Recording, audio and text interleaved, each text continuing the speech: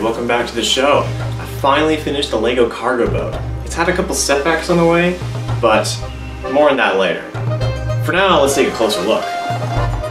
Finding the right balance with this took a lot of trial and error in the bathtub because it's really top heavy, as you can see. So I tried putting nails in the bottom, uh, and that helped a little bit, but I actually found the original motor that came with the original fireboat kit.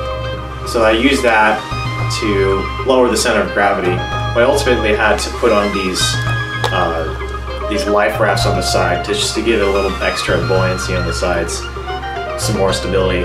A new feature that I've been experimenting with is hooking up a gamepad to my phone so I can use that as uh, the controlling device for the S-Brick. This is really handy, especially when I need to control the boat with one hand and hold the camera with the other hand. I also added a detailed interior and lights.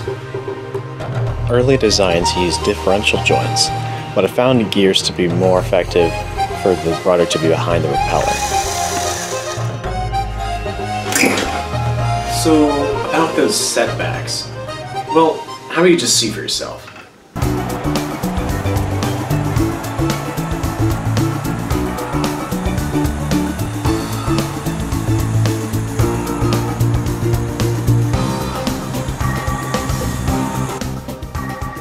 Yeah, it's actually the third time it's been submerged in water like that. But I gotta say, I'm really impressed with how durable these components are. S-Brick was damaged at first, as you can see, but after filling it with a bowl with rice for a while, it came, it came back and it's working fine now. Well, that's all for today, folks. Thanks for watching.